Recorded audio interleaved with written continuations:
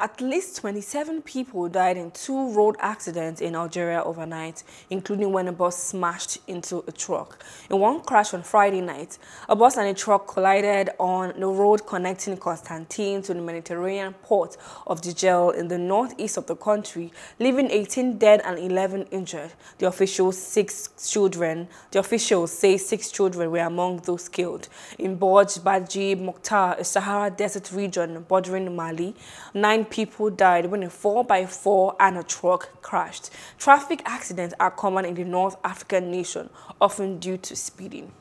Hello, hope you enjoyed the news. Please do subscribe to our YouTube channel and don't forget to hit the notification button so you get notified about fresh news updates.